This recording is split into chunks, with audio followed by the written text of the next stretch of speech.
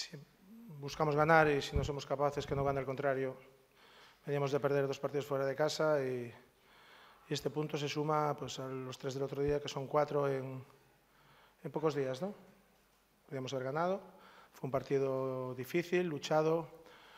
Fue complicado rebajar las pulsaciones del partido en todos los momentos porque había mucha tensión. Por momentos control, por momentos ida y vuelta. No me molestaba mucho porque nosotros somos buenos en la ida y vuelta.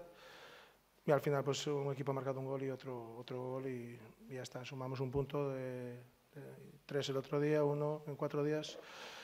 Está bien, ¿no? Está bien.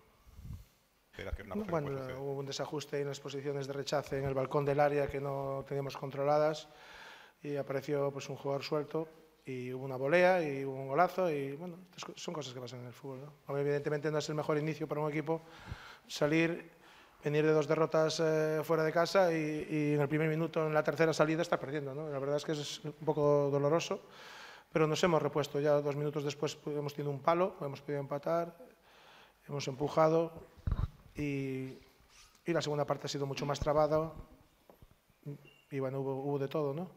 Tuvimos la ocasión del partido con una parada del portero local y, y al final, pues bueno, en el acoso último, pues se nos han juntado ahí dos faltas y dos o tres corners y, y se ha puesto el partido complicado, ¿no? No sé si, no sé, tendré que verlo repetido tranquilamente y jus- justo y justo esto mm, de un partido 10 personas pueden opi- opinar distinto y, y las 10 tienen parte de razón, ¿entiende? Nadie tiene certezas absolutas ni la verdad absoluta. La polémica, no sé si hubo polémica o no hubo polémica y no le puedo decir. Yo creo que la tuvimos con Mata debajo de la portería que hizo una parada René, la parada de la temporada creo, y antes hubo, alternativas en un campo complicado, ante un rival bueno y, hemos sufrido, claro. Como todos los equipos en segunda división, todos somos parecidos, ¿entiende? Aquí no hay grandes diferencias en, en- en- en nadie prácticamente.